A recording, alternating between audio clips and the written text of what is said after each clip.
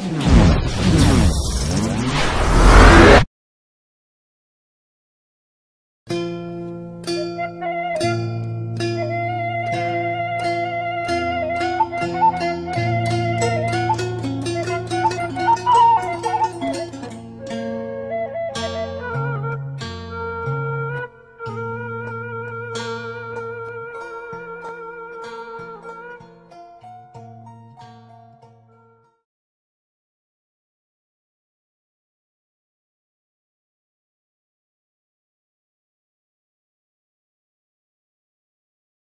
الحمد لله وكفى والصلاة والسلام على عباده الذين اصطفى خصوصا على أفضلهم وخاتم النبيين محمد الأمين وعلى آله وصحبه أجمعين وبعد Brother Chairman, our distinguished fellow panelist, Dr. Omar Zaid, uh, whose presentation I was looking forward to listening to for a long time and he's not disappointed me.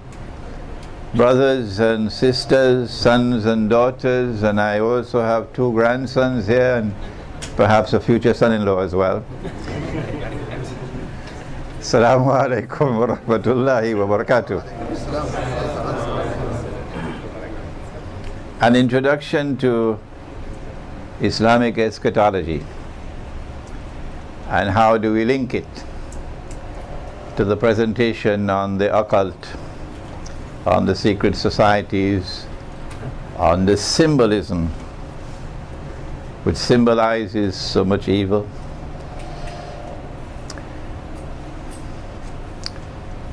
Allah subhanahu wa ta'ala at the very beginning of Surah Al-Hadid of the Quran, the surah entitled Iron and Steel, he says, بعد أعوذ بالله من الشيطان الرجيم هو الأول والآخر وزاخر والباطن إلى آخر الآية He is the first and the last and that which is manifest and also that which is hidden indicating that if we are to penetrate truth for he is truth he is al-haq. If we are to penetrate truth and if we are to penetrate truth as it moves in the historical process it cannot be a part-time piecemeal effort. You got to link the beginning with the end. And you got to link that which is outside with that which is hidden. And what Islamic eschatology does is precisely to link the beginning with the end and to link the external with the internal. It's not an, an easy subject. You need a multidisciplinary scholarship to handle Islamic eschatology or ilmu akhir zaman because the end cannot be understood without reference to the beginning. In the 35, 30 minutes that I want to take with you, I want to show you how this is done. It is not possible. It was not possible for those who were there at the time of the beginning at the time of the first shower, who were the companions of the Prophet sallallahu wasallam. It was not possible for them to be able to encompass the totality of knowledge which was communicated by Allah subhanahu wa ta'ala in the Quran and by Nabi Muhammad alayhi salatu wasalam. many of whose ahadith pertain also to that which is hidden and that which comes at the end. But we who live in the end times, we have no excuse.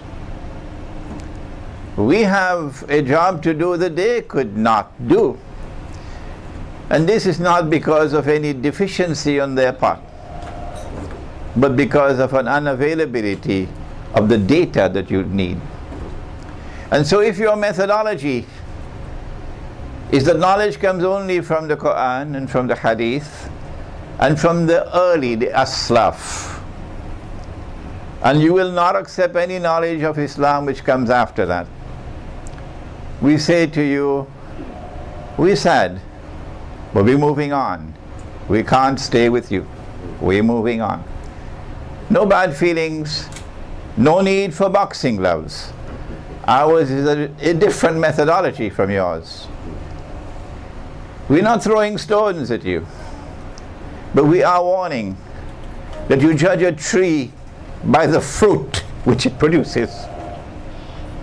And if our methodology can explain the reality of the world today, it will validate our effort. Here is a stunning example of the link between Al-Awwal and an akhir with which Islamic eschatology is concerned. At the very beginning of religion, and of course religion began with Ibrahim alayhi salam, Millatu Ibrahim, the religion of Ibrahim alayhi salam. Allah subhanahu wa ta'ala sent to him a vision and then he came to his son, Ismail alayhi salam. There's no doubt about that, that it was Ismail alayhi salam. Ya bunayya, O my son, inni ara fil manami anni azbahuk. I have surely seen in my sleep, in a vision, ru'ya, that I must sacrifice you. فانظر ماذا ترى Son, how do you respond? Do you agree to this sacrifice? يا أبت افعل يا أبت افعل ما تؤمر Oh my father, go ahead, do as you have been ordered. Meaning, we both recognize that this is from Allah. I agree to the sacrifice. I hope Egypt is listening today. I hope the Arabs are listening today. I hope those who have come from Ismail alayhi salam are listening today. For Nabi Muhammad alayhi salatu wasalam said, the best of those who came from Ismail alayhi salam are the Kinana. And the best of those who came from the Kinana are the Quraysh. And the best of the Quraysh are Banu Hashim.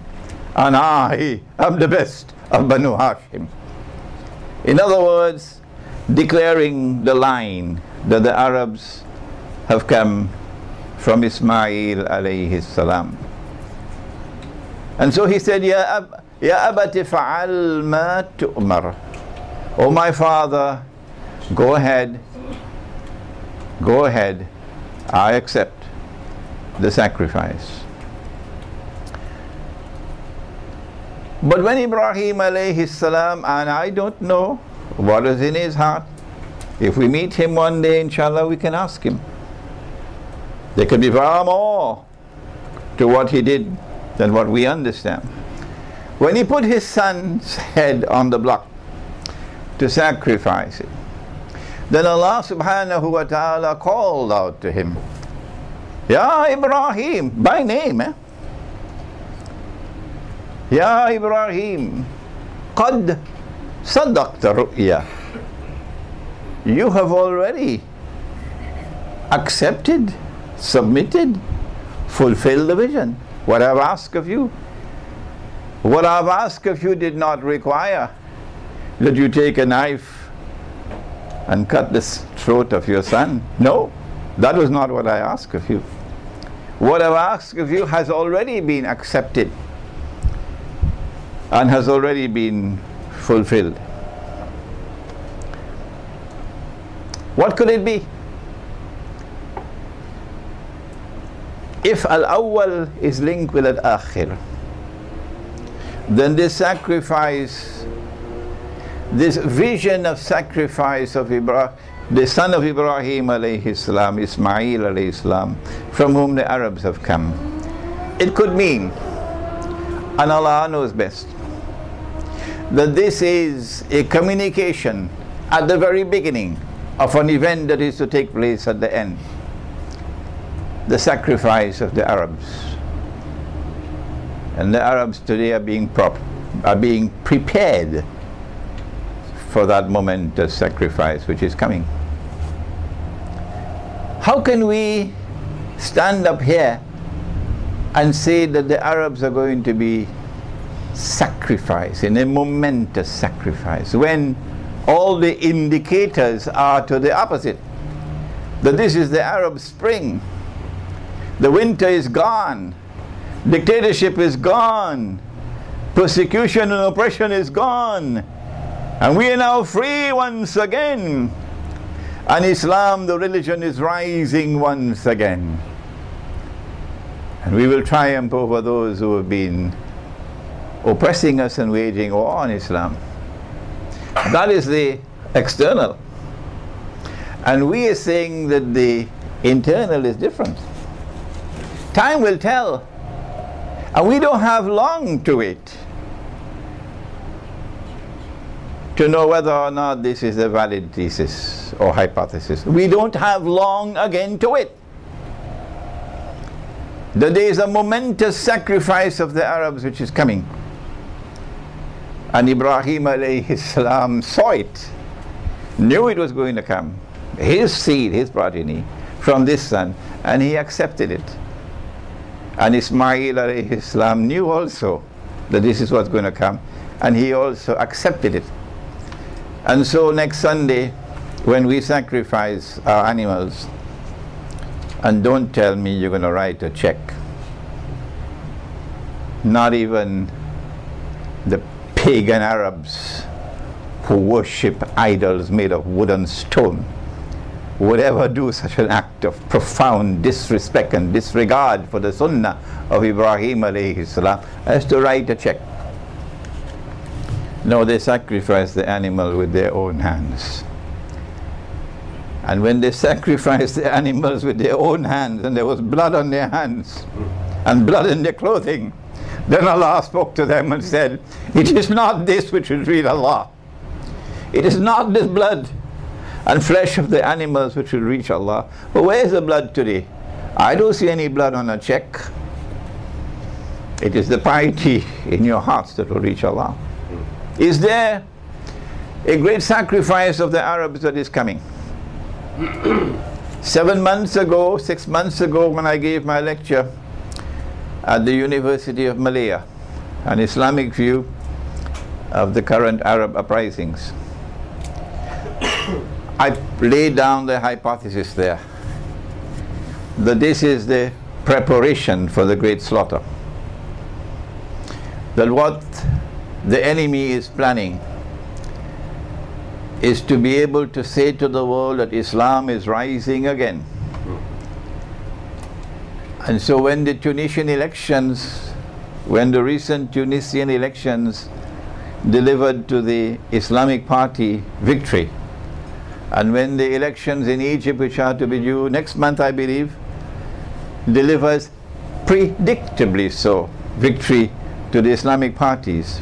And when the domino effect takes place around the Arab world, and when the call for the enforcement of Sharia finds roots, then Israel will be able to say, and all the media that supports Israel will be able to say, Islam is now rising again, posing a threat not only to Israel, but posing a threat to the world, posing a threat to mankind, demonizing Islam, painting Islam as a menace. And hence establishing justification for the great wars which have already been planned, with which Israel will be able to expand her territorial frontiers. But we know that subject already from my book, Jerusalem and the Quran, and set a trap for the United States. So the United States will be facing military defeat. It's not just the collapse of the US dollar and collapse of the US economy, but more than that for Israel to replace the United States. Hmm? But we have a question and answer session where we can elaborate on that. But from the time we ask the question, why would Israel want to do these things? And we get the answer that Israel wants to rule the world. But when they said in Europe that all that we want to do is to provide a home for the Jewish people. And they issued the Balfour Declaration in 1917. We say that was a lie. We are now accustomed to your lies. You are a people who tell monstrous lies. And truth does not reside in the heart of those from whose lips lies constantly emerge. Even a schoolboy would understand that. What you wanted to do was to create a state that would rule the world. And Israel is just a few steps away from that. Israel cannot rule the world, however, unless it first establishes its political and economic dominion over the Arab world. How can we explain this without reference to Dajjal? How can we explain this without reference to Gog and Magog, Ya'juj and Ma'juj?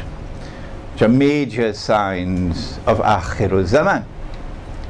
And yet, our critics are emphatic that no, Dajjal has not been released. Gog and Magog have not been released.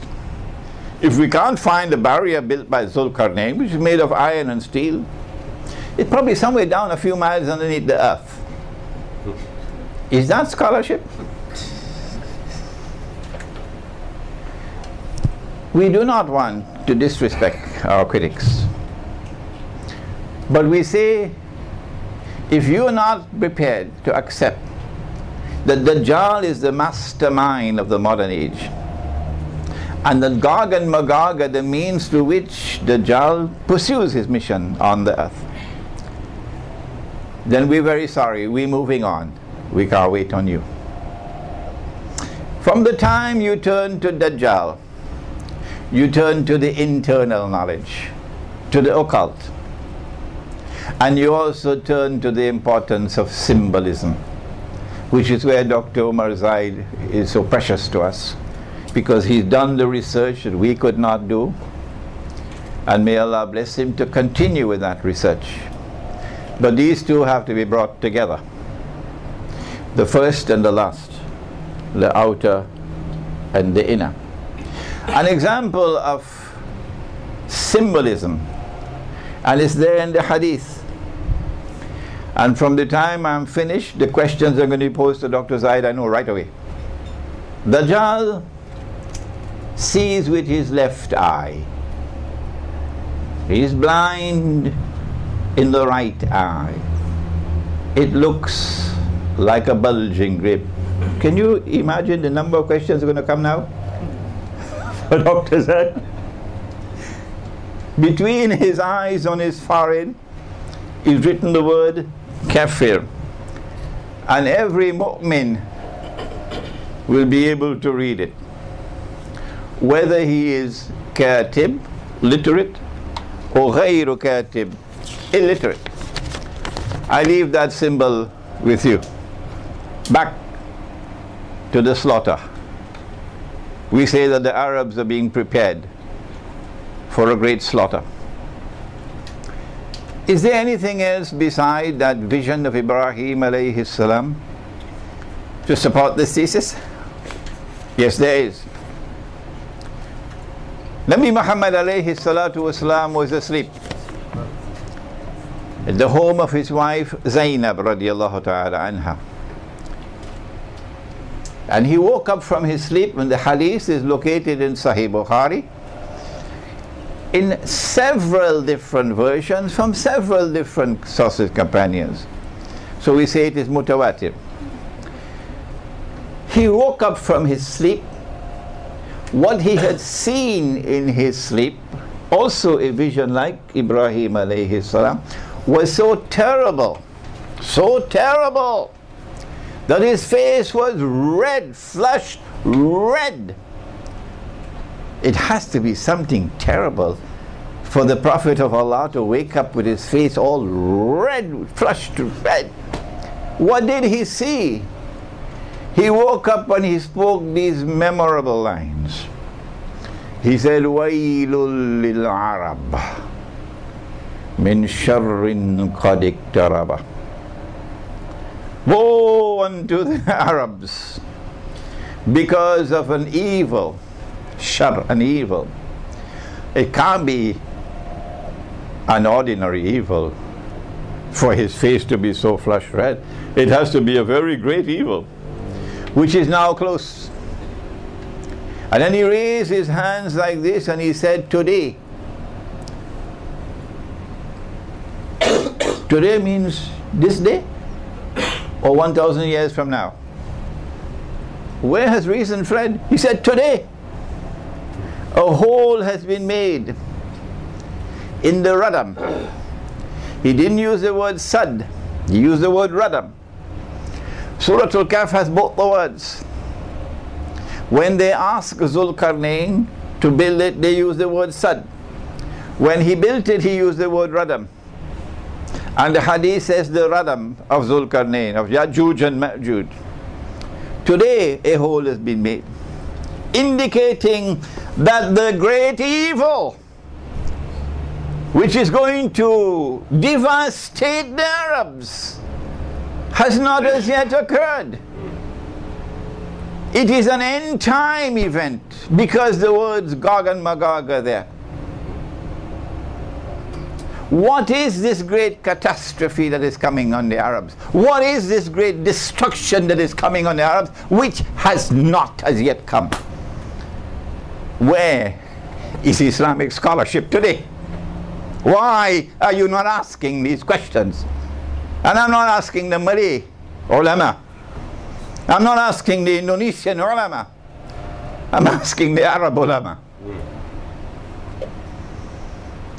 She asked, Who? Zainab radiallahu ta'ala anha. Anuhlika? Will we be destroyed? Anuhlika? Halaka? to destroy? Huh? Will we be destroyed? This is the word she asked. Will we, the Arabs, be destroyed when there are righteous people amongst us? The hadith is in Sahih Bukhari. He said, Na'am, yes. And then he went on to use words I never understood until recently. Until I saw the pathetic state of Islamic scholarship today and the even pathetic state of those who lead Muslims today. He said, إِذَا كَثُرَ الْخَبَث When the scum prevails, then it will come. And today, the scum prevails. They have eyes and yet they cannot see. They have ears and yet they cannot hear. They have hearts and yet they do not understand. أولئك كالأنعام بل هم أضل بل هم أضل They're worse than cattle. They're the scum. And when the scum prevails, then the destruction of the Arabs, not the Malay, not the Turks, the Arabs will take place. We have something more than that, with which we should be looking again at Al Jazeera and CNN and reading the newspapers. Doctor said, I don't have a television set in my home, and I don't buy the newspapers. Alhamdulillah, you have my blessing. I sleep, I sleep peacefully at night. I sleep peacefully at night. Yes. No television and no newspapers, and I sleep peacefully. And my food can digest. Alhamdulillah.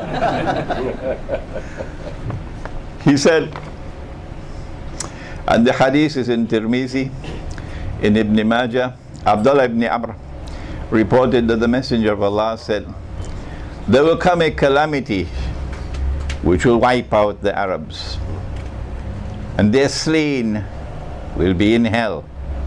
And at that time, the tongue will be more severe in this than the blow of a sword. Al Jazeera is more powerful than a cruise missile. Yes. CNN is more powerful than a helicopter gunship. Yeah. The information media will be far more powerful than a sword.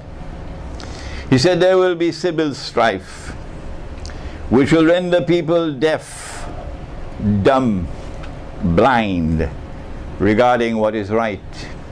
How can we explain? They say we are mujahideen in Libya. They say he was a dictator, Muammar Gaddafi.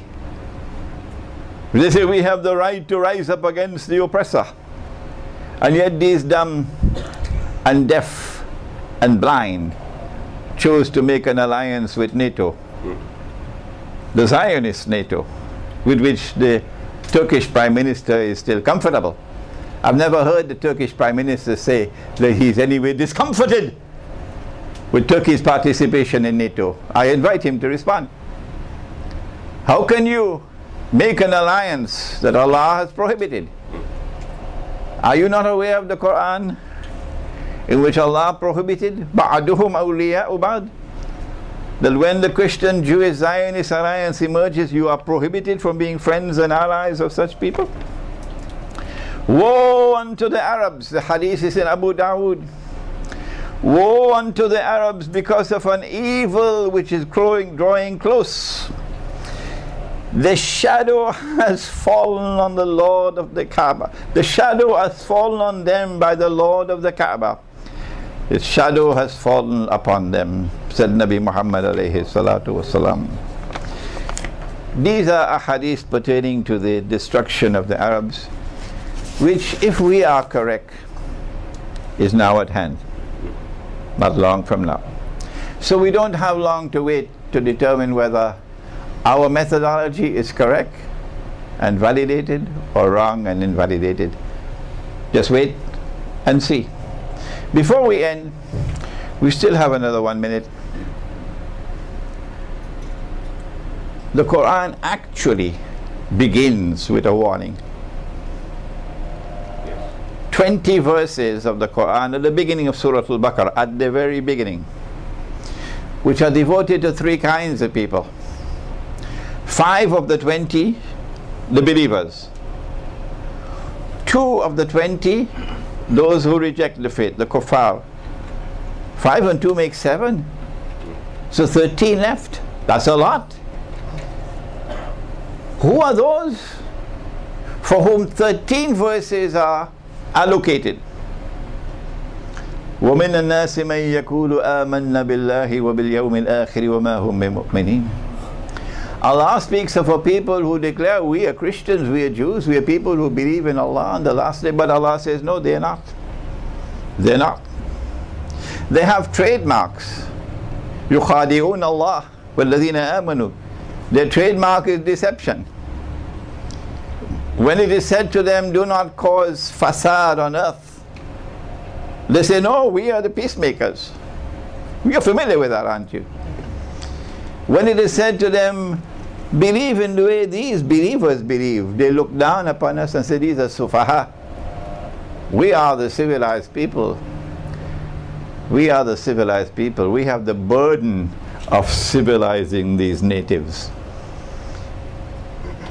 But then the Quran goes on to say, وَإِذَا لَقُوا الَّذِينَ آمَنُوا قَالُوا آمَنَّا When they are with those who have faith, they say, but we have faith like you. وإذا لقوا الذين آمنوا قالوا آمنا وإذا خلوا إلى شياطينهم There you are, Dr. Zaid. But when they are with their shayateen, Allah is giving you a very, very, very big hint here that these are people with links to the occult world.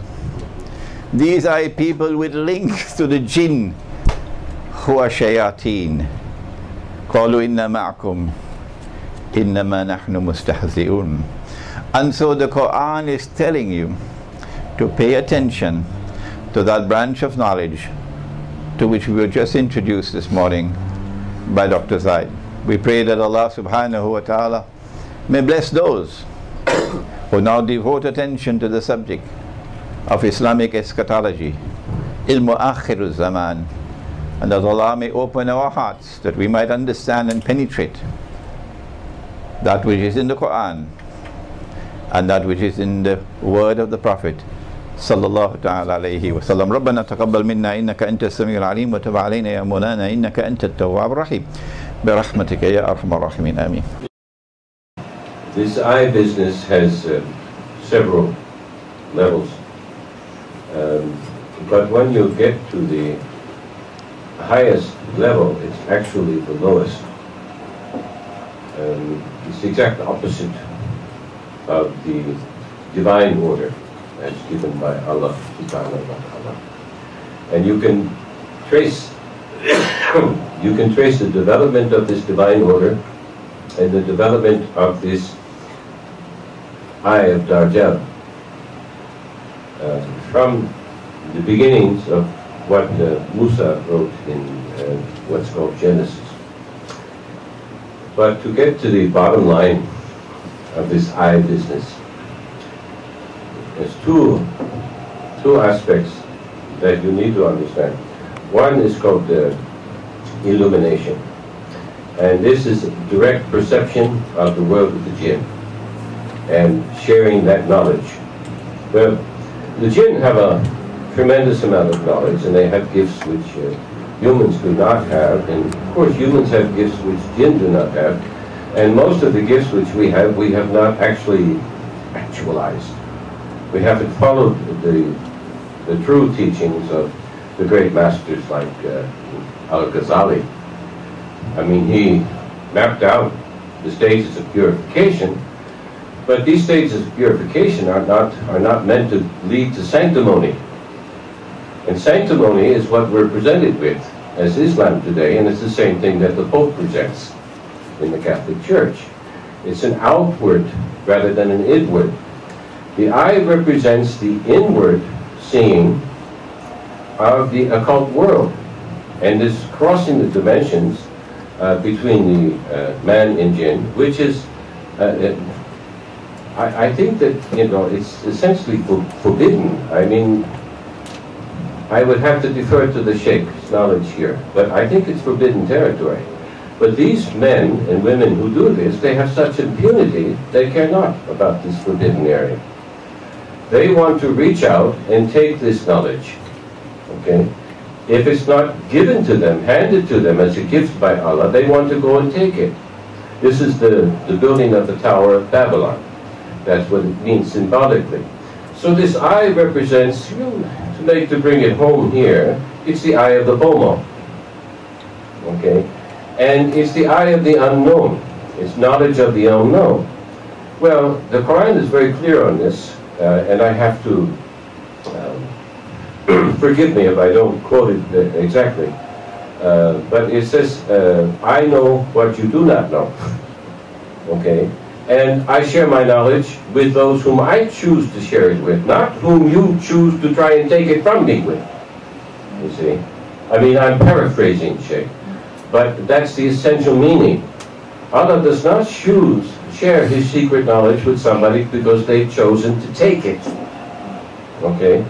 Uh, but these magicians, the Magus, they have chosen to take that knowledge.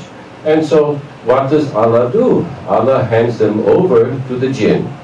And Iblis said, hey, I'm going to be before him, behind him, above him, on all sides, and I'm going to take him down. Yeah, and Allah said, go ahead. But those who are my servants, you cannot touch. And that's your protection. You see? Now, there's another understanding of this eye. And that eye is, it also represents, if you look at the eye as it's represented on the US dollar bill, it has this reptilian quality. Yeah? And what is this reptilian quality? Well, it reserves, it's reserved for the very basic uh, subhuman instincts of the reptile.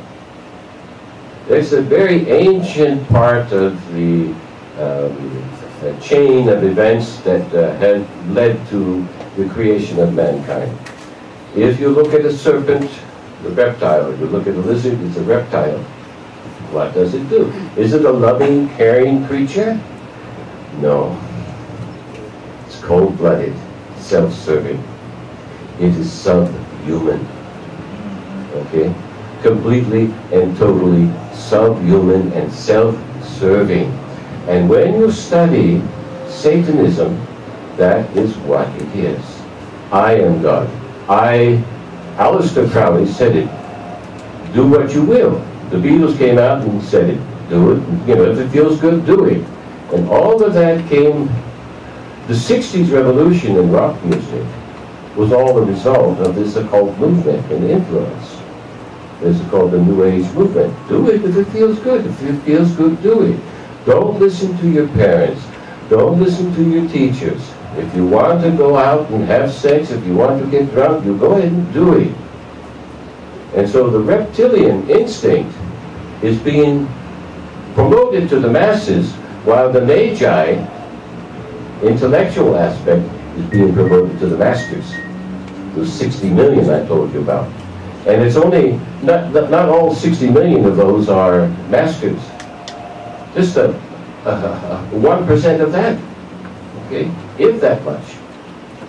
So they represent the occult eye, this eye at the top of the pyramid, which is just about ready to have the capstone, capstone laid on by Al-Dajjal.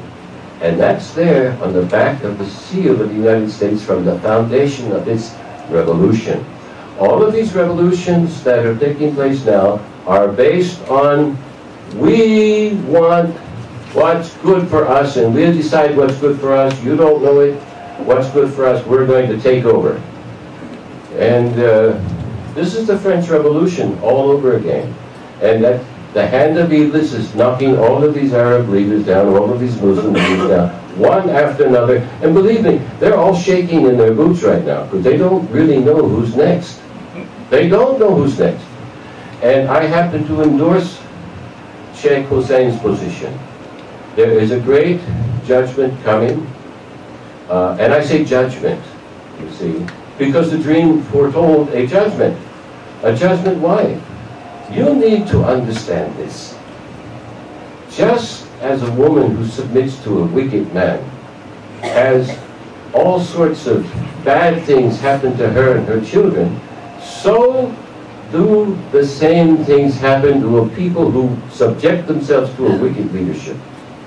And even worse will happen to those who make partners with the enemies of their religion. And that is what's happening. Imagine that you're married to a man, but you're secretly sleeping with his enemy. Okay? What's going to happen to you? Is that man really going to love you? I don't think so. He's going to use you until he can bring down his enemy. And that's what's happening throughout the Islamic world right now. This is what's taking place. You have to know, understand, that these people are governing our academic institutions. They determine what is taught, what's not taught. And what you heard here, they have determined will not be taught.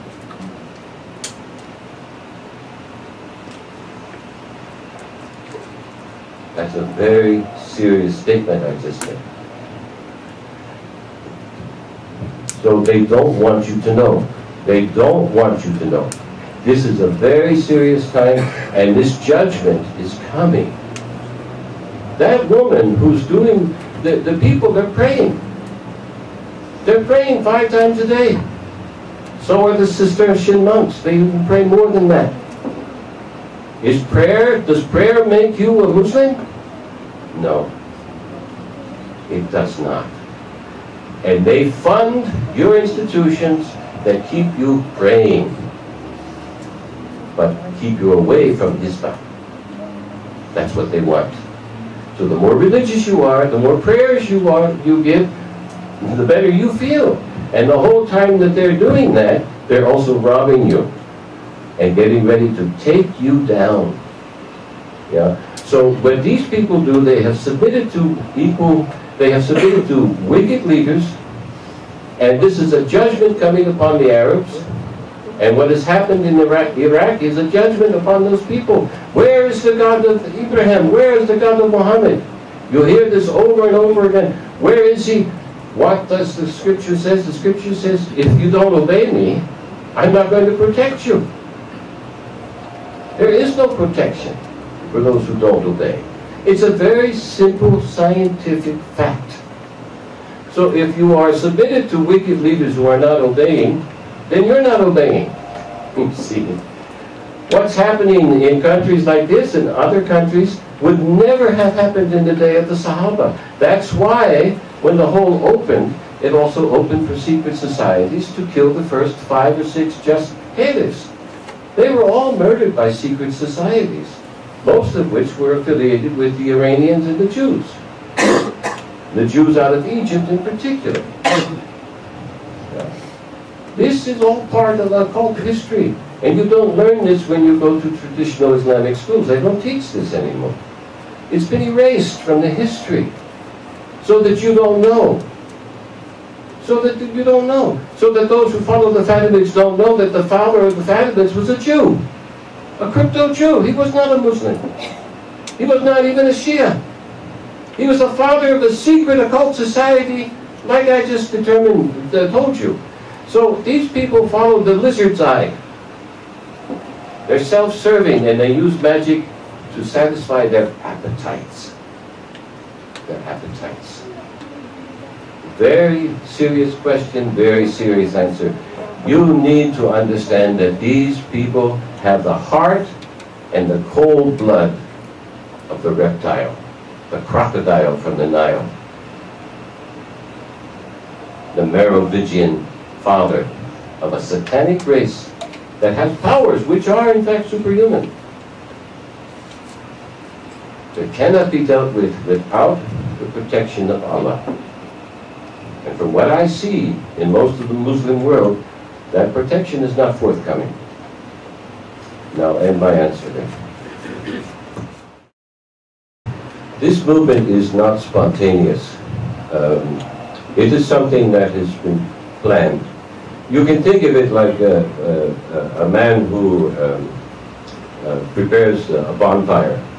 Okay, he chops the wood, he gets piles it in a certain way, and he uh, sets the tinder around the base in a certain way, and then he waits for the correct time, make sure that the wood is all dry and ready for fire, and then he lights the tinder. Okay?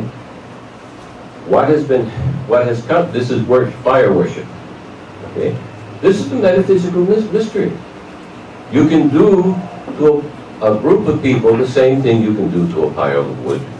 You just need to know what Henry Kissinger said. You need to know how to manage the people.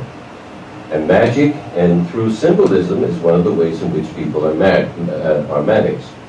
I just answered uh, a question to uh, one of the uh, uh, friends here who uh, I said, well, you know, I've seen in this country your entire armed services on parade giving the Nazi salute. If you look at Hamas, they give the Nazi salute. If you look at Hezbollah, they give the Nazi salute. What's the difference? What's the difference? There's a common denominator there. Is this salute Nazi? No, it's Roman. He comes from Rome. the entire Muslim world is being conditioned. And so when you've got a bunch of people, they've been giving this Nazi salute since uh, 1930s in the Middle East, by the way. It's been a long time being kindled. It's been a long time to light this flame. They transfer the job just like the Chinese transfer from father to son. They transfer the metaphysical magic and the symbols and how to use and how to manage them from father to son to father to son. That's what the skull and bones is all about. There's not a, there's not a major leader in American politics that hasn't some direct association with the Skull and Bones Society for the last 30, 40, 50 years. And that society has a long history that goes back to Britain. America is ruled by Britain, and Britain is ruled by Rome. You need to understand that. I didn't get to half of the slides that I prepared for you. So, in order to understand this conditioning, What's happening now is that the, the, the worldwide, the Kindle has been, the, the tinder has been laid. The logs have been cut, they're dry, everything's been set, they just light the fire, and then they spread the word, and they use Al Jazeera, they use CNN, they use the newspapers, they tell you what horrible atrocities are taking place, da da da da da da da Everybody gets fired up, and who's getting fired up? A bunch of ignorant people who think they know it all. And think that God's on their side. Yeah? Whether you're Shia or Sunni or whatever you are. I didn't see Shia or Sunni in the Quran when I read the translation. I saw Muslim. I didn't see it. All of that is sectarianism. You become a sectarian, I didn't see Malay Islam. I saw Islam. I saw Muslim. You practice sectarianism, you lose the protection of Allah. The moment you do that, the moment you do that, grace is gone. The roof over your head is gone. This is why some of the Sahaba, when there were civil wars, they stayed home. Because they were sectarian wars. It was chaos. Who brought the chaos? The same people who are bringing you the Occupy movement. The same magical groups. The same secret society. The same Satanists father to son, the father to son, the daughter to mother to daughter. These people are wicked. And they think they have the right to rule over you. They think they have the right to your pocket. And you've given it to them. You've submitted to an income tax, haven't you? The income tax is not, it's not Islamic. It's their system. In the United States, income tax is a completely illegal entity It's being enforced by a mob called the IRS. That's who they are. And they are legally in a correct position, but even though they're illegal, because they get you to sign on a piece of paper that says, I voluntarily make this contribution. See, that's your, your 1040 form or whatever it is that you fill out. You can rescind all of that. You get a birth certificate number, that number belongs to the Queen. You become a chattel of the Queen because Washington, D.C. is not the government. It is a corporation. The whole system is satanic. It's out in the open. You only have to learn how to read the signs. You read the fine print because that's where the devil is, in the details. That's where he is. This Occupy movement has been planned for a long time and is spreading like a fire. And what they want in the States, I'll tell you what they want in the States, and then uh, let the, the, the Sheikh back me up with his traditional knowledge. What they want in the States is they've been arming the inner hip-hop groups. You know. These, these guys, you know, Michael Jackson set them all up. Okay? Uh, they, they're, they're better armed than the police. Okay? They want the police and these hip-hop gangsters to go have a go at each other. They're setting the tinder right now. It doesn't take long to have a riot. You just need the right temperature in the crowd. And then all hell breaks loose. The police come in, the gangsters come out, They start shooting each other. There's no rice in the, in the market anymore. All right? They want to bring in the NATO troops. The Chinese troops are already in Texas. They're going to bring in foreign troops and take over the country that way. America has gone down the tubes. It's gone. America was carjacked during World War I, and all of the car was dismantled and sold for parts. It's too late. Cannot be saved. In the Middle East, Israel, everybody talks Israel, Israel. It's not Israel. It's the people behind this hand.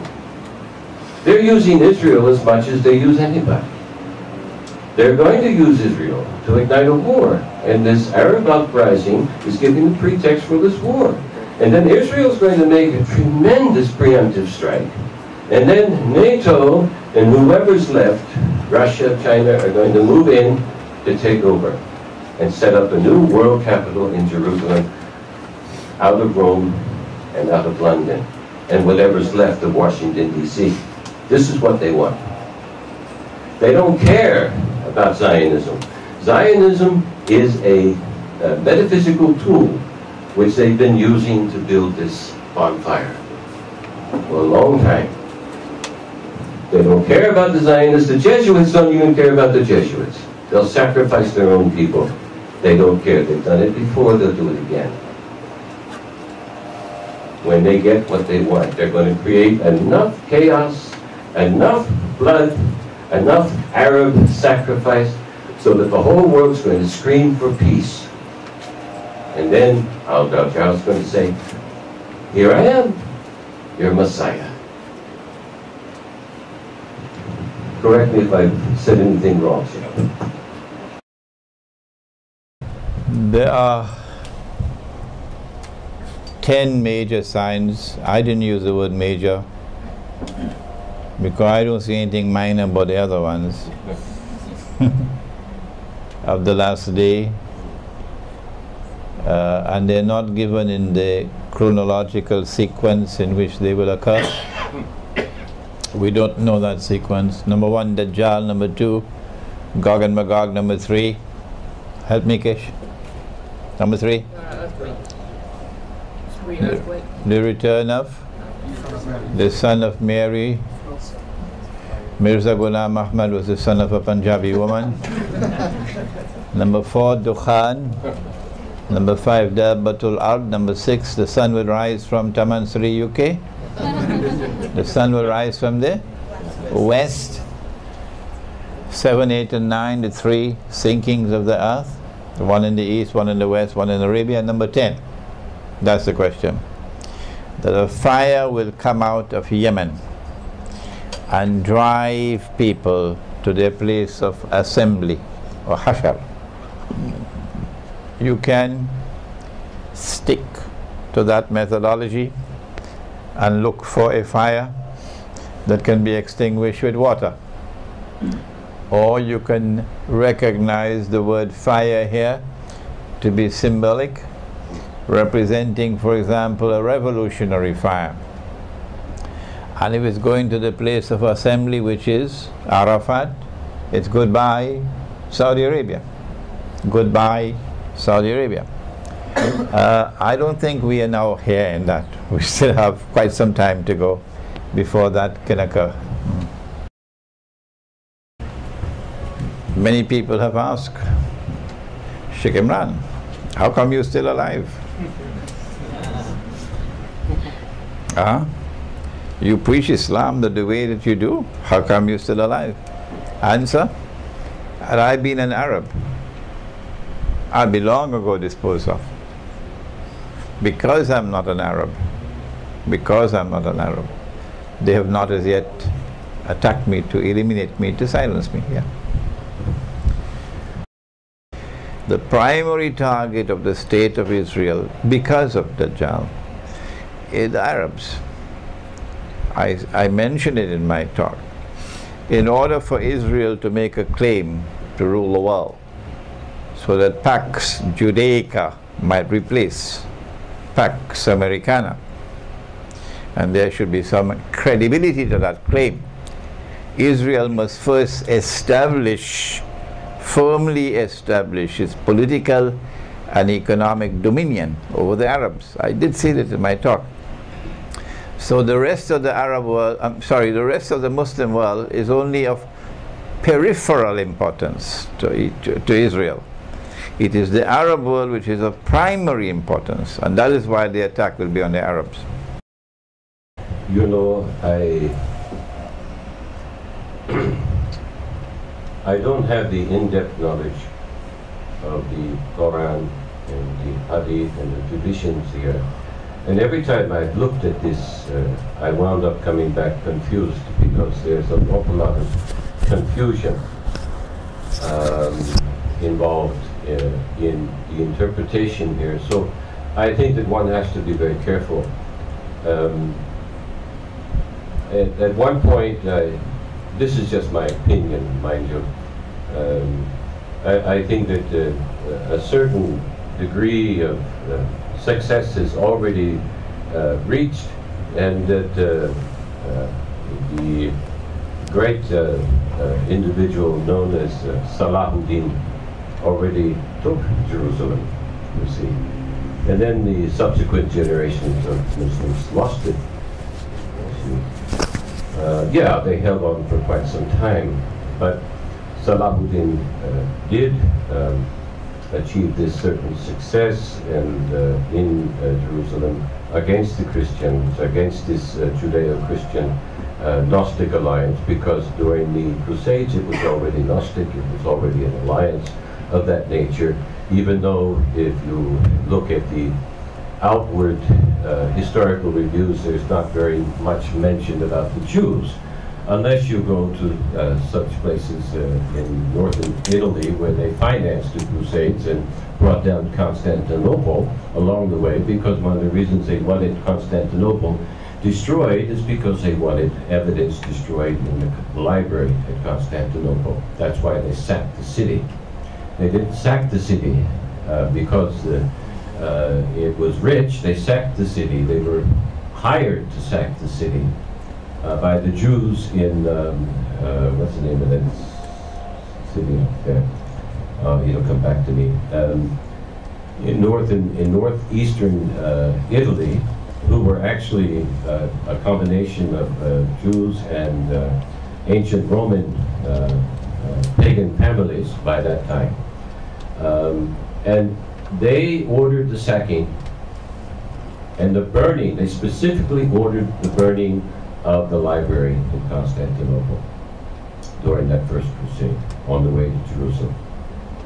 And uh, they didn't care much about the riches. They wanted the library destroyed because the library held witnesses, held documents that would have destroyed the Roman church, what became the Roman church, would have destroyed its edifications. There may have been copies there, for example, of the original uh, uh, Gospels, which were written in Aramaic and Hebrew, not in Greek, not in Latin. There may have been an original copy of the Gospel of Barnabas, for example, in Constantinople. All of those things were destroyed.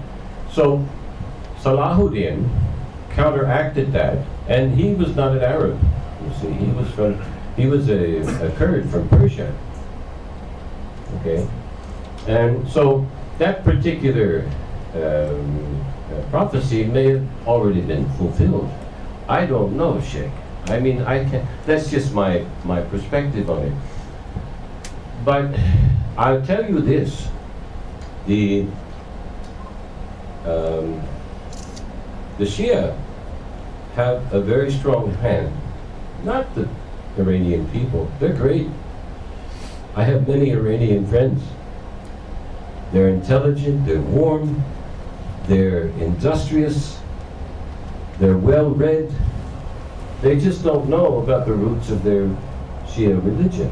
They don't understand it. It's not Islam as we understand it. It's actually a return to the occult Gnostic mystery religions. Because the Ismailis who founded it, they were occult magicians and many of them were what we call crypto Jews. Crypto Jews. Okay? The Fatimids certainly were. And when you put them together, and you put the animosity that's held between the Sunni and the Shia, you have a tinderbox ready to explode.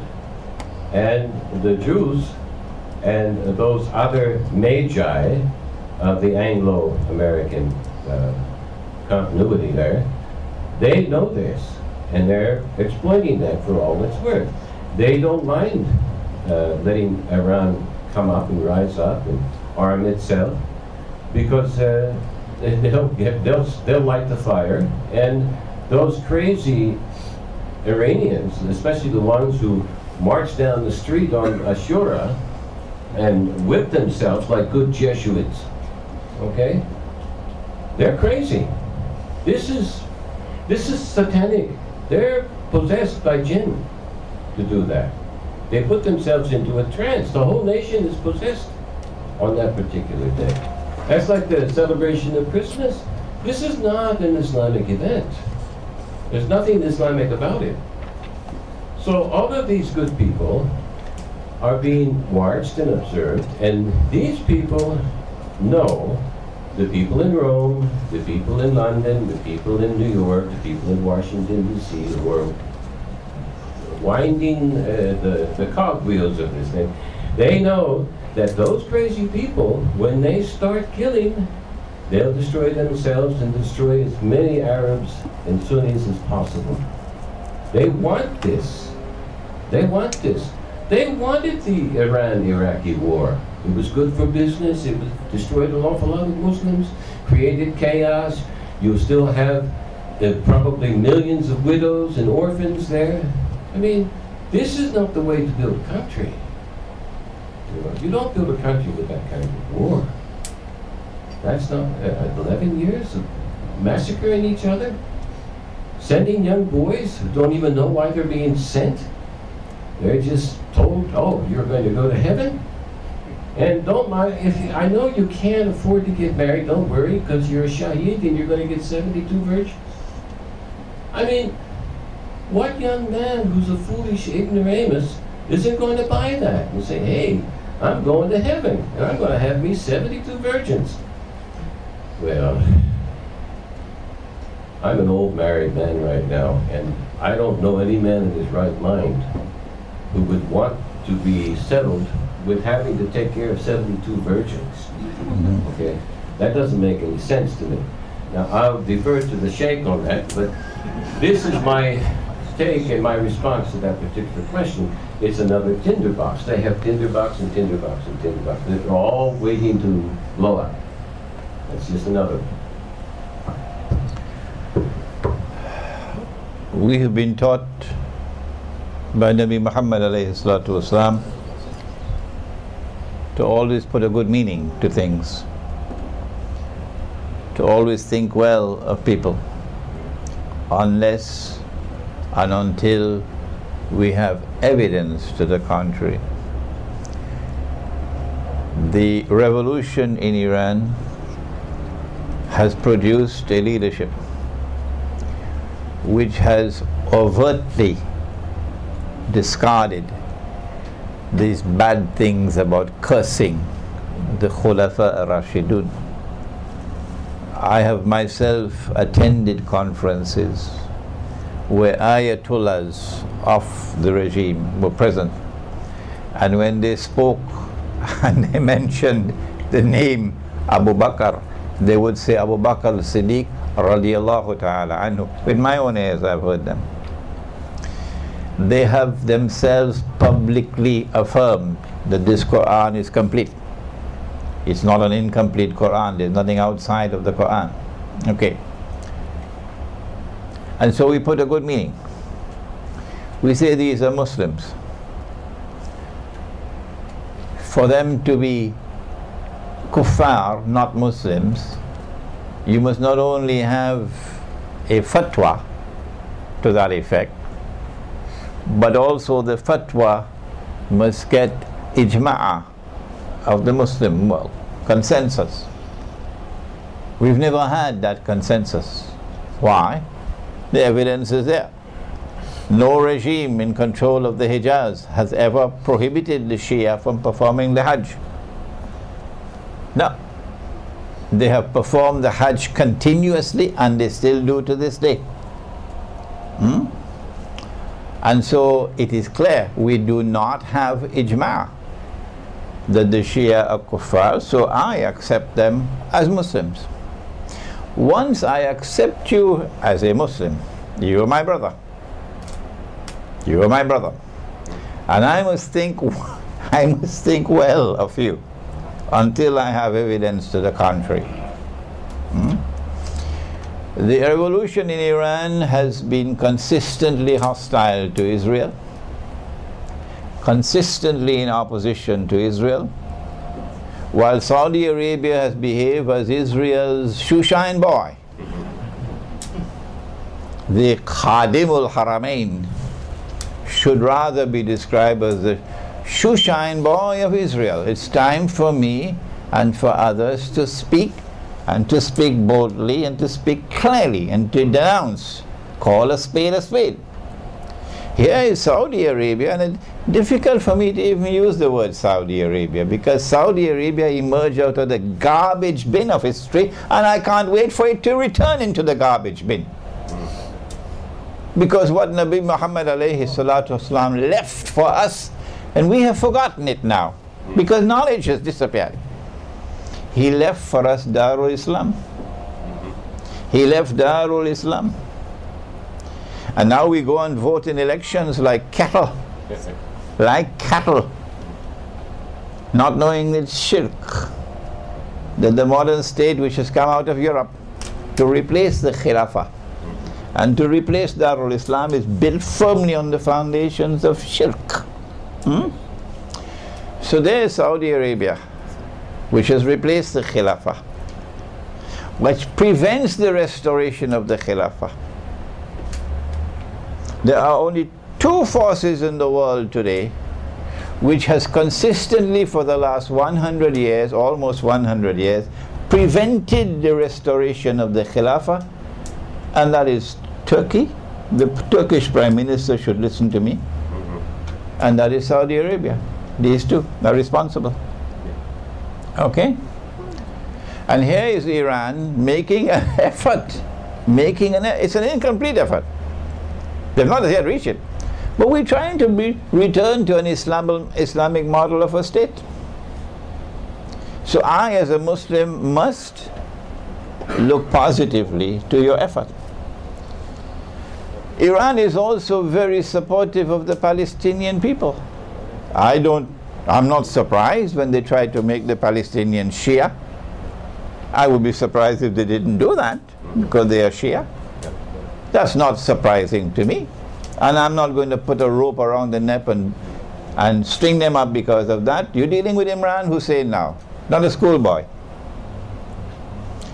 And so, when I see the Western world, when I see the Zionist alliance const constantly attacking Iran,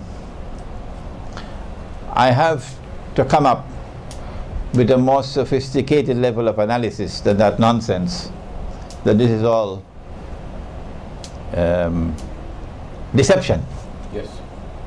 Now, and my analysis is that they know what is the Shia faith, and Dr. Zaid has spoken about it. And what they want in Iran is something other than what the revolution has given. They want a militantly Shia regime in Iran. A regime in Iran with which Israel could establish some kind of a modus vivendi. Hmm? You scratch my back, I scratch yours. And they can't do that with this regime. So with all its defects, and this regime has defects.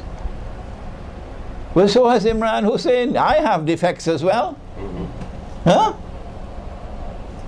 So with all its defects, this regime is a pawn in the side of Israel and the Zionist movement with all its defects. And what they want to do is to attack Iran, not so much to destroy the nuclear plants, that's part of the agenda. But the more important agenda is regime change in Iran. I am conscious of the fact that there is a hadith Nabi Muhammad alayhi salatu wasalam prophesied that Dajjal will be followed by 70,000 Jews from Isfahan wearing their Persian shawls. And I think that is probably going to be coming after the attack on Iran, not now.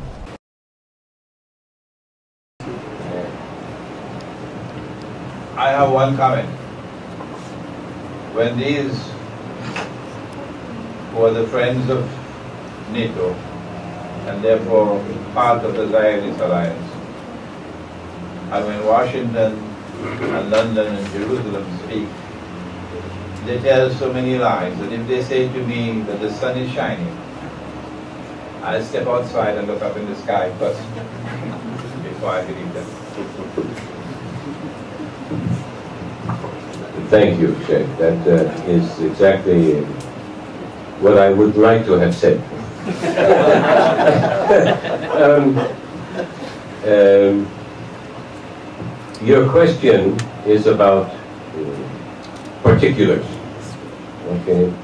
And uh, this is exactly what um, uh, the, the disciples would want you to dwell on.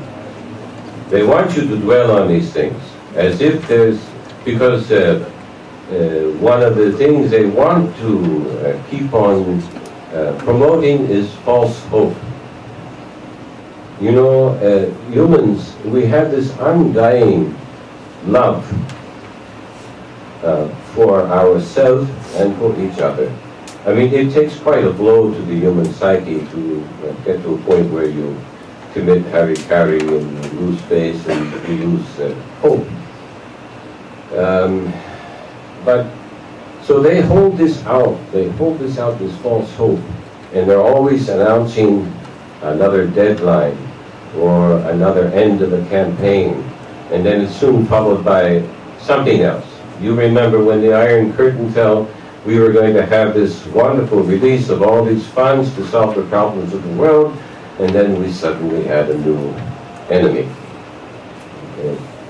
So there's always a new enemy. There's always something else that's going to occur. There's always something else that's going to keep your eye away from the Gestalt perspective, away from viewing the entire mountain uh, as we began this with. They want you to look at the particulars. They're going to, they're going to want you to say, oh, see, the U.S. is doing something good, uh, or so-and-so out of the Middle East. It can convince them to pull their troops out of Iraq at last, at long last. Well, why is Iraq so important?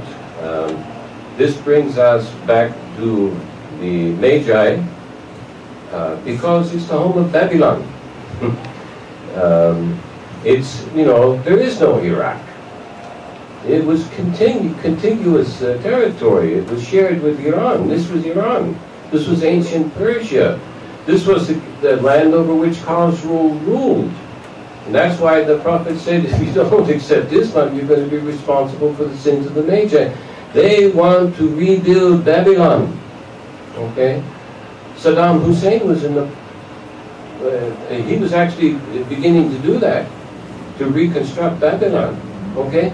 This is very important satanic center for them because when, who was the, the righteous Persian king? I, I've forgotten his name now. The righteous Persian king.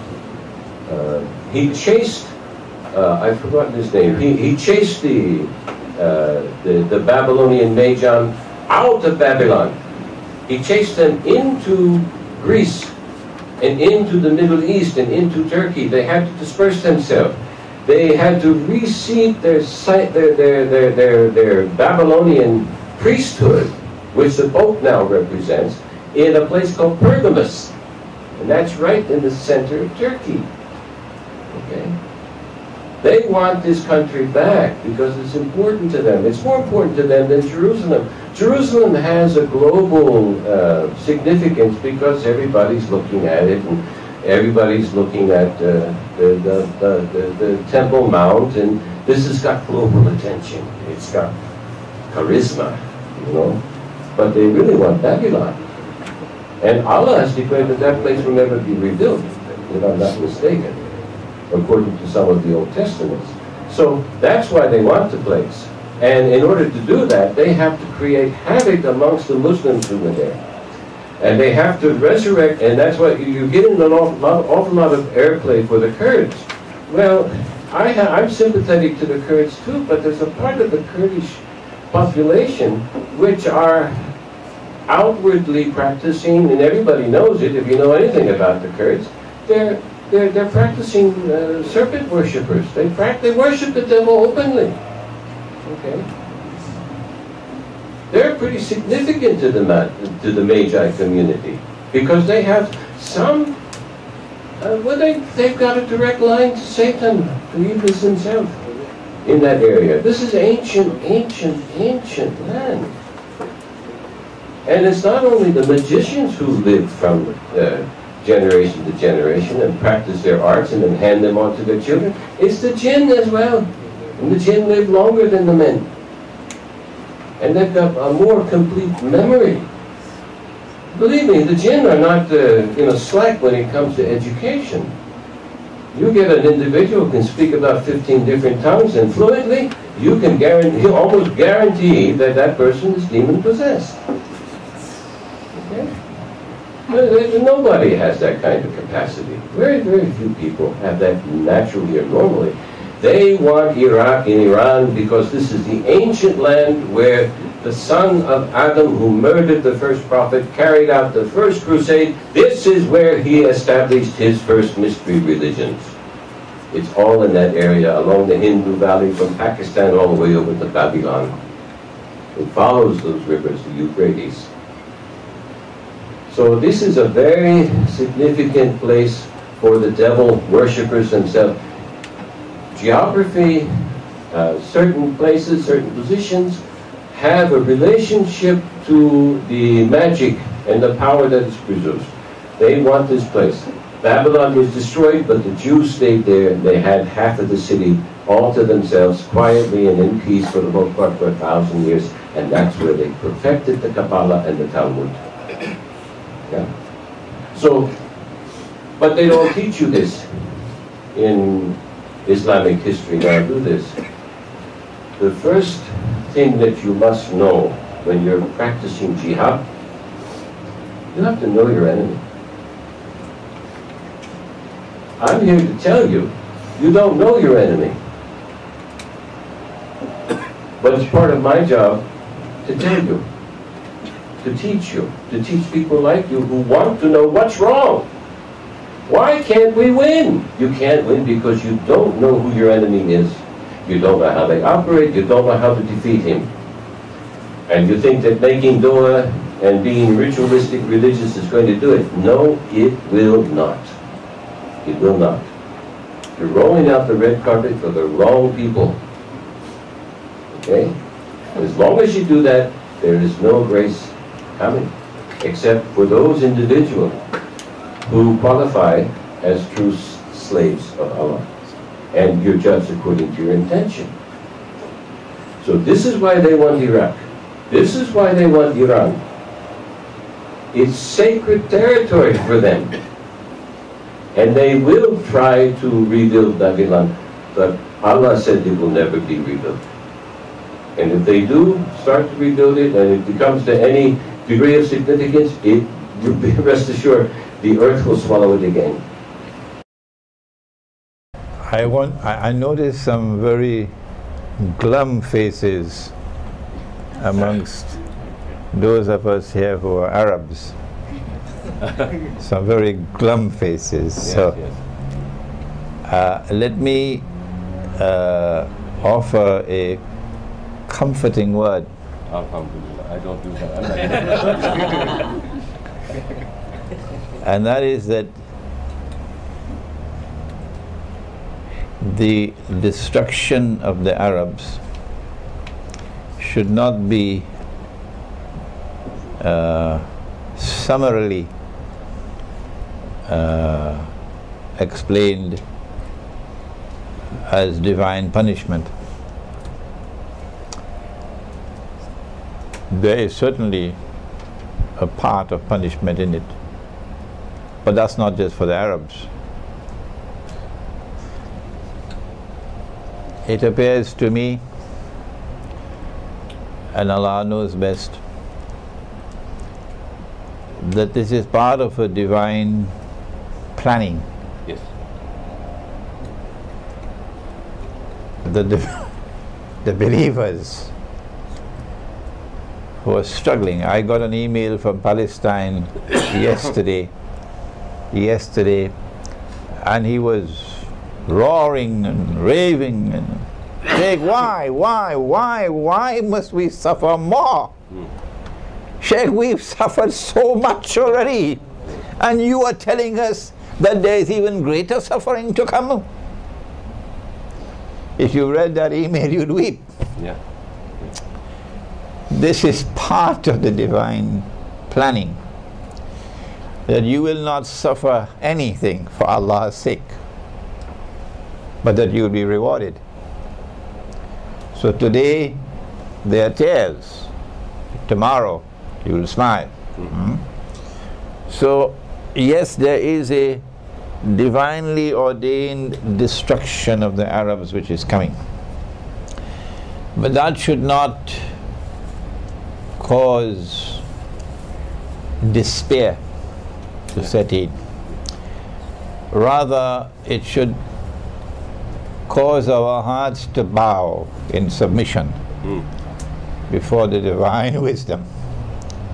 That in order for a greater good to be accomplished, what is that greater good?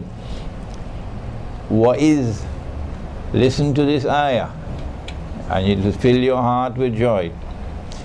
وإذ تأذن ربك وإذ تأذن ربك ليبعثن عليهم إلى يوم القيامة من ي- من يسومهم سوء العذاب And your Lord has announced that He is now sending against them those who will inflict upon them continuously until the last day the worst possible punishment. That worst possible punishment was described in such a few words by Nabi Muhammad alayhi salatu wasalam, hadith of Sahih Bukhari. لَتُقَاتِلُنَّ الْيَهُودِ You will most certainly fight the Jews. And of course, if you use the lazy man's defective methodology, you will say the Prophet is speaking about all Jews. Oh no, that's foolishness. You don't, you don't, you don't develop scholarship like that. No. No, he's not speaking about all Jews. لَتُقَاتِلُنَّ الْيَهُودِ You will most certainly fight the Jews. وَلَتَقْتُلُنَّهُمْ And you'll most certainly defeat them. حَتَّى يَقُولُ الْحَجَرُ At that time even the stones will speak. But before the stones speak, we have to suffer. We have to suffer. لَتُقَاتِلُنَّ الْيَهُودِ وَلَتَقْتُلُنَّهُمْ حَتَّى يَقُولُ الْحَجَرُ On that time the stones will speak, يا مسلم هذا يهودي ورائي فتعال فاقتل There's a Jew hiding behind me. So tomorrow they'll be on the run.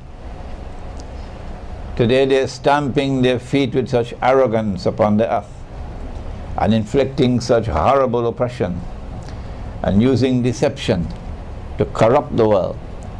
But tomorrow they'll be on the run and hiding behind trees and stones. But tomorrow even the trees and stones will speak and say, Come and kill him. Hmm? Once upon a time, when you had freedom in the United States, I gave a lecture at the State University of New York in Stony Brook. Wow. The Jews were sitting right in front of me. Mm-hmm. And I quoted this hadith. That was before 9 11. And they went to the rector, the vice chancellor, and they complained against me. He's inciting the Jews to be killed. Mm-hmm. And our response was if we don't have the freedom to quote the Quran and to quote the hadith, do please tell us in this your United States of America. The vice chancellor could do nothing. He never even bothered to contact me. Hmm? So before this could come, this great triumph, لَيَبْعَثَنَّ عَلَيْهِمْ I'm going to send against them إِلَى يَوْمِ الْقِيَامَةِ مَنْ يَسُومُهُمْ سُوءَ الْعَذَابِ I am going to send against them those who will inflict upon them continuously until the last day the greatest possible punishment. Before this can take place, in order for this to take place, he sent that vision to Nabi Ibrahim alayhi salam. You must sacrifice your son. Are you prepared for that sacrifice? So Nabi Ibrahim alayhi salam was, yes, I'm prepared for it. And Nabi Ismail alayhi salam said, yes, I'm prepared for it. And so the Arabs must also be prepared for it. The purpose of the Crusades was twofold. One uh, was a magical uh, purpose. There was something that they were searching for. Uh, and two was a political purpose. The Catholic Church uh, at that particular time, uh, it didn't really become fully Catholic until about the 9th century. It was losing its political grasp uh, uh, on the thrones of Europe. And uh, this was a very uh, nasty time to be a European. Um, so they decided they were going to unify Europe under the Pope uh, by carrying out these crusades. Uh, and this, mm, this uh, cemented uh, a new era which then lasted for almost a thousand years uh, of the papal, well, 700 years or so, uh, until the revolution, until the Reformation took place.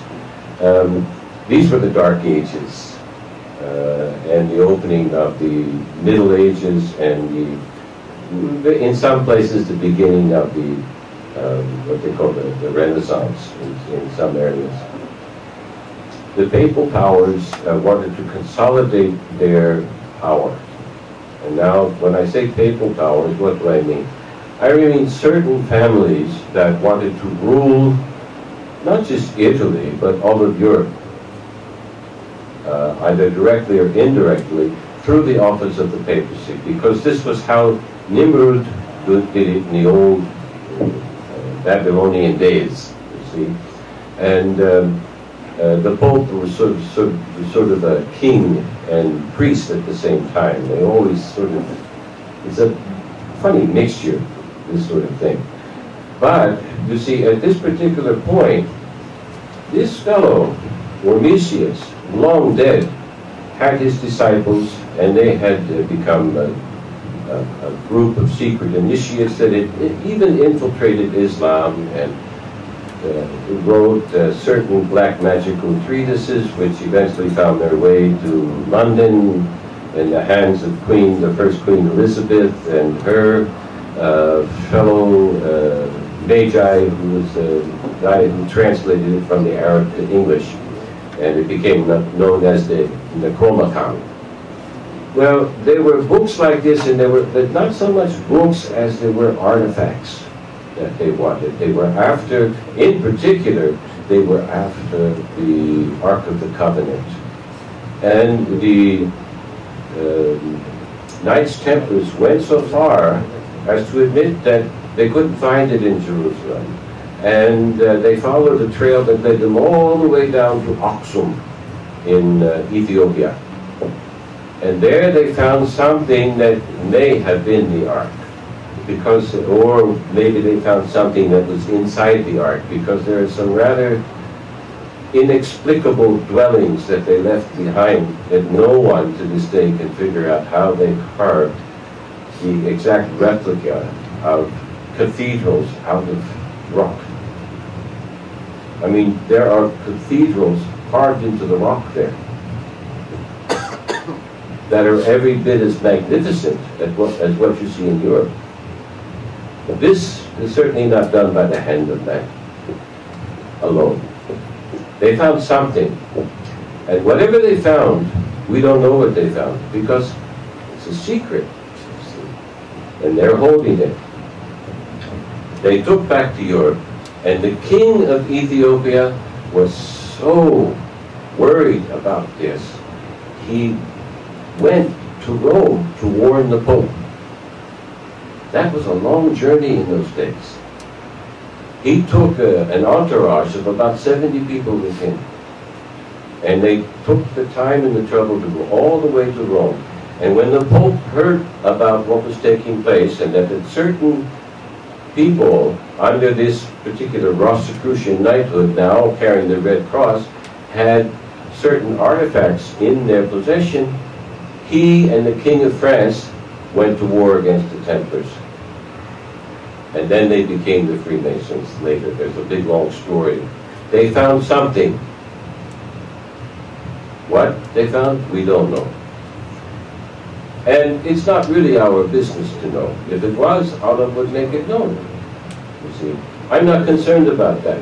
What, what I'm concerned about is the trail, the history that leads, that has led to the present day. These Knights Templars became what is now today the, the Knights of Malta, Salahuddin, um, who's the other fellow? Um, Suleiman the Great, magnificent. They tried, they did their best to wipe them out wherever they found them. They spared all the other Christians except for these fellows because they were magicians. They were just like the witch from Allah. See, he put them to the sword. Suleiman chased them all the way to the Isle of Malta, and then he had to withdraw okay, couldn't take them down. They became the Knights of Malta after a fashion. And they are now the Knights of Malta today. This is the same group. They have very many branches, very many degrees, very many different, there's Constantinian order. Uh, you know, the Arab kings belong to these orders. They belong to these orders. This is why judgment is coming. And this is why some of the people are angry. And they have a right to be angry. And they should not submit to such leaders, such leadership. This is the truth. And, but it's not the truth that you, get, you can openly speak about in academic forums or publish on the front page. you see? It won't even it won't even get to the back page. They won't print it. Okay. Now, um, so they found something, and the political purpose served because after the Crusades, what happened was that the Jews in Italy and the Latin families, which had fled Rome and had all the gold and all the silver, they managed to enslave financially all of the royal thrones, the Celts, the Franks, Uh, in, in, in, in Europe and in England, who all those Christian kings who had to make a show of it, you know, wear that cross and go get, go get Jerusalem for the good guys. They were all in debt. They all became indebted because nobody can afford to practice that kind of war. I mean, you have to be Kubla Khan to do that. And guess what? They got gold from Kubla Khan because they, after the Crusades, one of the things that they did was they arranged uh, Kublai Khan to get all the gold, bring it to Italy. They uh, exchanged it for silver, then they controlled the gold and the silver markets in Europe. And they got further, these people further into debt, and that began the first banking system. It all happened from during the Crusades. It's continued to the present day.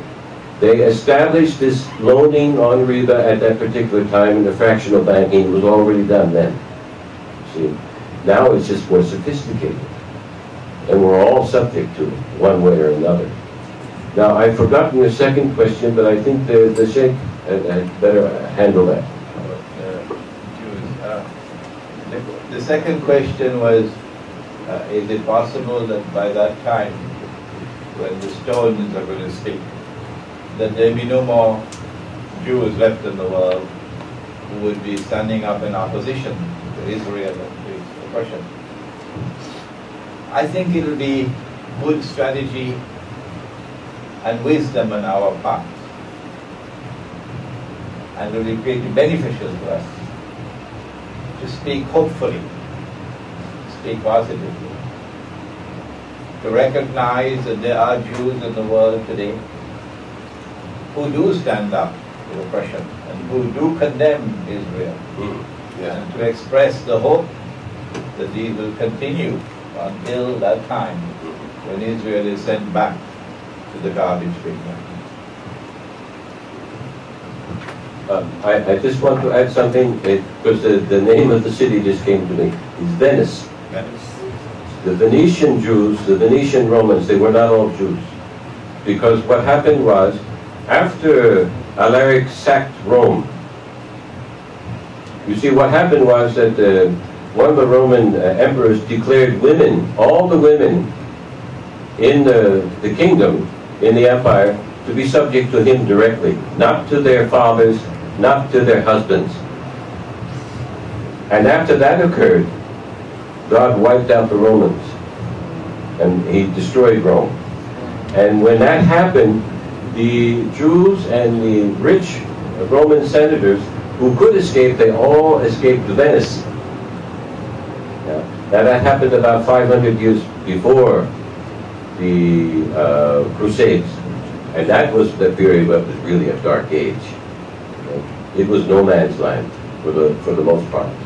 And so they consolidated their position in Venice because they had all the gold, they had all the silver that was to be had from Rome. They took the riches of Rome to Venice, okay, so that the Huns couldn't get them.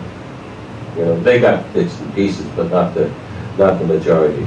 The, the, the people, the real magi, the real Latins who practice human sacrifice and the Jews who practice human sacrifice, and believe me, they do it. Okay? They escaped to Venice. And then there was, there continued to be all sorts of, uh, of uh, struggles between different clubs, different uh, factions, different covens, if you will, vying for power and authority. Venice was one of them, Florence was another one, other areas. But it was out of Venice that this occurred. The Venetians hired uh, the kings to sack Constantinople because the secrets that they wanted destroyed had been transferred by Constantine to Constantinople when the empire became initially divided. That was a few hundred years prior. Yeah. That library had to be destroyed. And that's a significant uh, matter. And that's another reason why some of the, the Alexandrian library had to be destroyed as well. Okay, I'll end there. What they, you have to look at a lot of these things as uh, different disinformation. Yes, there are cycles. Um, and yes, these cycles have meaning and they have purpose. But their real meaning and their true purpose has long been lost.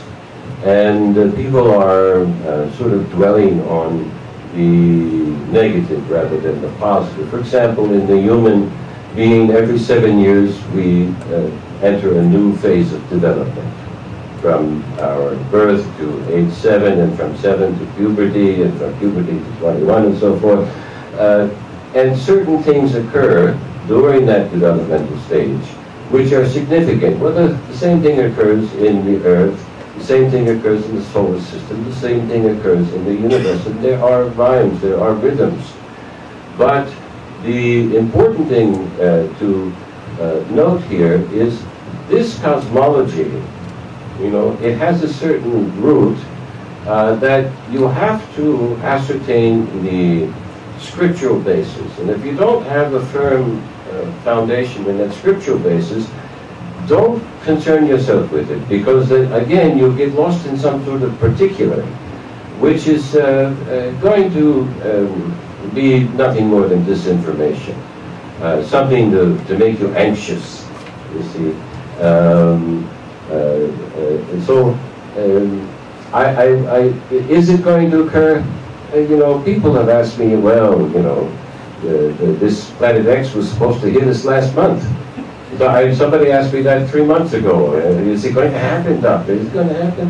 And I looked at the author, and I don't know much about Planet X. I looked at it and I said, well, there's some viability here, but I don't know. I'm not an astronomer. It's not my field.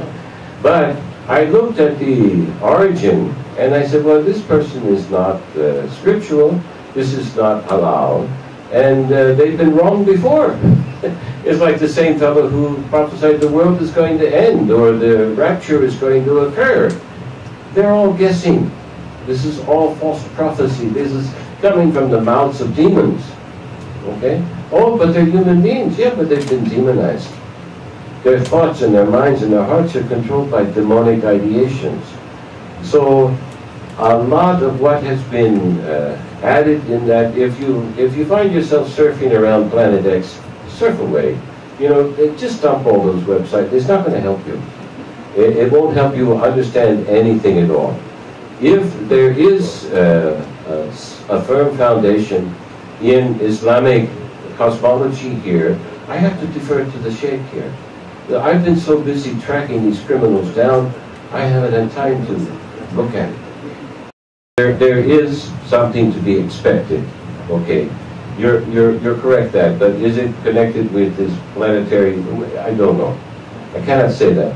But you don't need to follow planetary cycles to be, in order to be, you, you don't need to be an astrologer. You don't need to be uh, Nostradamus, okay? You don't need to be Joan of Arc, please. We don't need that kind of approach. You can read the signs other times simply by your scriptural knowledge and by looking clearly at what is occurring now. And you follow the patterns. There are patterns that occur. There are political patterns. There are human patterns. There are historical patterns. Uh, you know, Ibn Khaldun establishes for us and other historians have established there is a cycle, there's a rise and there's a fall. Right now, some of the rises and fallings are occurring a little bit more, uh, a little quicker, quicker, quicker than they would have before, because everything's accelerated. I think that that's been prophesied as well. Is there something going to happen? You can count on it. Is it going to happen in 2012? Probably there will be a, a, a real global depression. Okay, uh, uh, uh, something that will make 1933 look like a cakewalk. Okay, uh, and that's going to happen. Is there going to be some sort of disaster? You can count on it. Whether it is Allah swallowing Arabia or uh, the earth uh, opening up and finally getting rid of that devil's den in Los Angeles, I don't know. I don't know, but you can count on something happening, and maybe there's going to be some sort of nuclear decimation of an entire American city. Maybe New York is going to disappear. Maybe it's going to be incinerated. I don't, but you can count on something bigger than 911 occurring sometime soon. 2012? maybe, maybe not. The depression's definitely going to happen. So uh, don't don't count on your finances. Get rice in your house, stock up, and you can run to the mountains like the prophet said, go. I don't think I'm being quoted correctly here. I never said anything like that. What I have said is that what Harun Yahya has written could have, could have very much come out of the Israeli Mossad because of the similarity. Mm because of the similarity. And I accuse Harun Yahya, and I normally don't call names. This is not my style at all. But I had to call this name of this, I don't know who he is, but he parades behind this name, Harun Yahya, because of the grave danger that I perceived. In his book on Imam al-Mahdi and the end times, I think he wrote a hundred books in order to be able to put on this one. That was 99 or 95% that dazzled the world, and here was the poison. To slip in the 5% the poison. Yes. That when Nabi Isa alayhi salam returns, as Muslims believe that he will return, that the Prophet has prophesied that he will return alayhi salatu wasalam, that the Jews would believe in him and the Christians would believe in him la yu'minanna bihi qabla mawti, says the Quran. And since the Muslims already believe in him, that when Nabi Isa alayhi salam returns, according to this fanciful fairyland theory of Harun Yahya, Christians, Muslims and Jews are going to embrace each other in a fraternity, a wonderful fraternity. And since we are going to be having this lovely fraternity of Christians, Muslims and Jews in the end time, why should we not do it now? In other words, Why don't you be friends with Israel? This is false. This is not the correct interpretation of the Quran. When Nabi Isa alayhi salam returns, I, I spoke in a synagogue in New Jersey before 200 Jews. And I quoted this verse of the Quran that when he returns, you will have to believe in him. You don't have any choice in the matter. And when you do believe in him at that time, it will be of no benefit for you. For he will give evidence against you, and you'll go into the hellfire. I don't know where I got the courage from, I, but I still have that courage. But when the lecture was over, they surrounded me. I was surrounded by a whole sea of Jews. Of course, they never invited me again after that. but they wanted to know why should we be forced to believe in something that we do not believe in, we reject. And my answer was that at that time the veils are going to be removed from off your eyes. And in the same way that when he was drowning, you know who I'm talking about when he was drowning, he realized, I am not God. I am not God. And then he says, I now believe in your God, Banu Israel. Hmm? Similarly, at that time, you also will recognize that what you have been holding on to is falsehood and what you have rejected and you have fought against and you have tyrannized and terrorized and oppressed, that is the truth. So you'll now die swallowing your own vomit and having to accept that which you rejected And you'll pay the price. وإن من أهل الكتاب إلا ليؤمنن به قبل موته وَيَوْمَ الْقِيَامَةِ يَكُونُ عَلَيْهِمْ شَهِيدًا And on judgment day, he'll give evidence against you and you'll go into the hellfire. The actual event of the return of Nabi Isa Islam is not a wonderful fraternity, but rather the divine punishment now coming upon those who have rejected the truth and who have stood on the side of the oppressor. Not all Jews and all, not all Christians are like that. No. Hmm?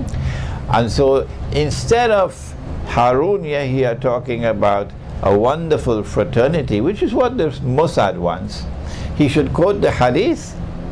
At that time, the, the stones and the trees will speak. You'll never hear Harun Yahya quoting that hadith. No. And they say, oh Muslim, there's a Jew hiding behind me. Come and kill him.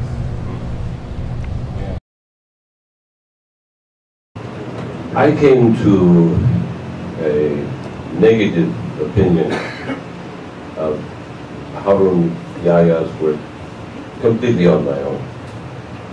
Uh, I never discussed this or this man uh, with the Sheikh at all until this, mo until this moment knowing what I know from the research and the books that I've written, and uh, comparing that with the sensationalism uh, that is manufactured by the uh, Yahya Corporation, nobody can write a hundred books on their own. That's impossible. So he's got a team behind him. You have to look at you, know, you have to look at the facts from an Ibn Khaldunian perspective. What is possible? And a big bank account. Yeah, and a big bank account. You know, where does this guy come from? Okay.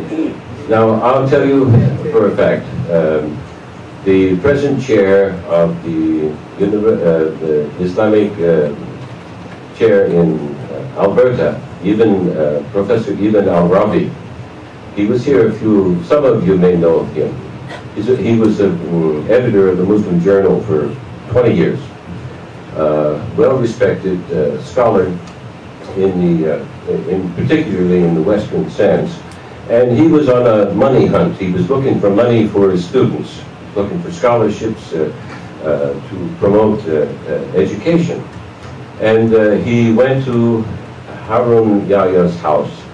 And when he was ushered in to the uh, mansion, uh, he was met by uh, a number of very attractive, young, scantily clad ladies.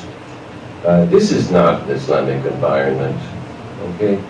Um, and Ibn Ibn al-Rabi, he told me this himself, face to face, when we discussed this man, because I don't discuss Yahya. Uh, I went to Sister Saba's bookstore and I saw his works on the books and I was just introduced to her, so I, I didn't say anything. It was not my place. Um, but I wait. You wait for the opportunity. So the opportunity has now just arisen at this moment. If you've got any material from even uh, from this fellow Yahya, throw it away, because it's this has been the tactic. It's just as the Sheikh said, and I found this in my own research. These demons will give you 99% truth and he'll throw in 1% lie. Okay? And that lie will take you to hell. Guaranteed. That's how close they are. What did the, uh, the, the, the king in Ethiopia say? There's a very thin line. Very thin line between us.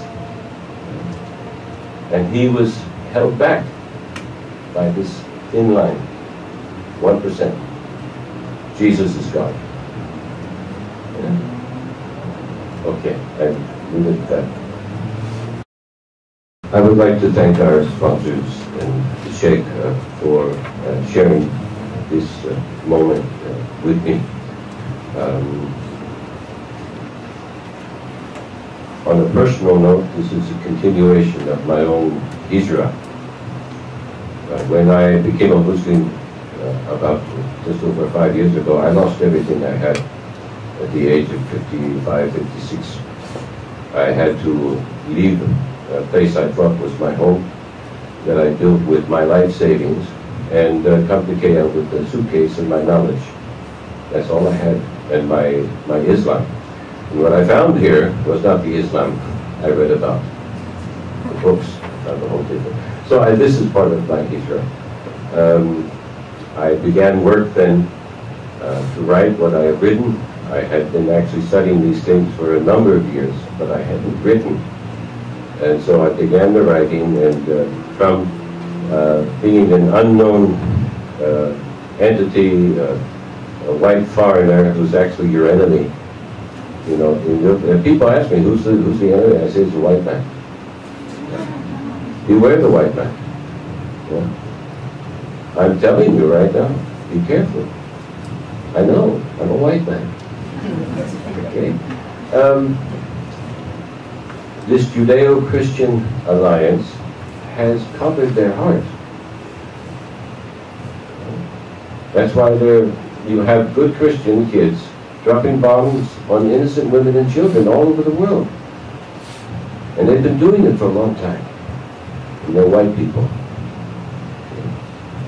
They're not here to help you. Right? And if they do say they're here to help you, check them out like I've been checked out. okay? Know, examine them. Put them through the mill. Don't let them get off easy. Oh, you know, you know, I've been put through the mill. So this has been a great opportunity for me. And I just want to say one thing about a follow-up seminar.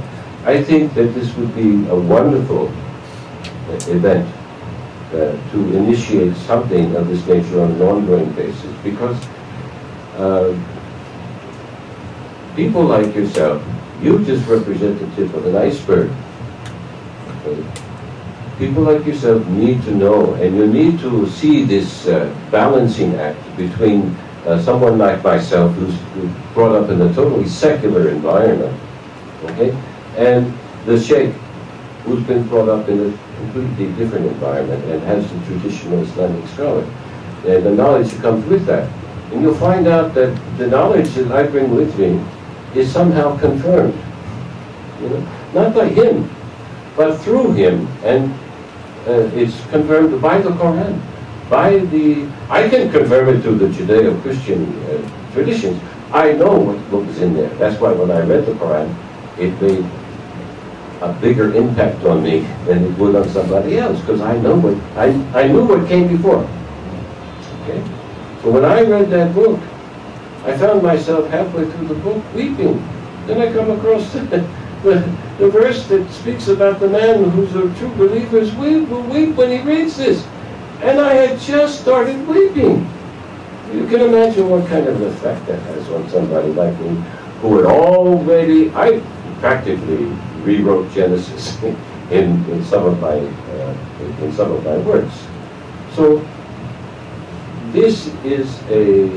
Um, I would like to, if we continue this, and with God's permission, and with the, the Sheikh's availability and myself, um, I would like to continue this, but on an invitation-only basis. I do not want to open this to the public, because once you open this to the public, uh, you open yourself to all sorts of harassment, which is unnecessary. Uh, this is a bit like uh, Lao Tzu, okay? The students who would harass him, he'd take a stick and beat them until they ran away and didn't come back. He'd tell them, don't come back. We don't need students like that. Sheikh Imran and I, we're getting on in years. We don't need to waste our time with people who really don't want to learn. Well, if we're going to do this, we'll do this with a, uh, a group of individuals who are motivated and a group of young people like you. You're the next generation. We're, we're going to be gone soon. You need to carry this on. You're going to be facing fires that we're only talking about. Okay? Sheikh? ربنا تقبل منا إنك أنت السميع العليم وتب علينا يا مولانا إنك أنت التواب الرحيم. اللهم أنت السلام ومنك السلام. تبارك ربنا وتعاليت يا ذا الجلال والإكرام. اللهم أرنا الحق حقا وارزقنا اتباعه. Oh Allah kindly show us truth as truth. Grant that we might recognize it as truth and follow it. وأرنا الباطل باطلا وارزقنا اجتنابه and kindly remove the veils from off our eyes and show us falsehood as falsehood that we might recognize it and reject it. Allahumma arina al-ashya'a kamahi. O Allah kindly show us things as they are. We might not be deceived by what they appear to be. اللهم صل على سيدنا محمد وعلى آل سيدنا محمد وبارك وسلم. سبحان ربك رب العزة عما يصفون وسلام على المرسلين والحمد لله رب العالمين. آمين.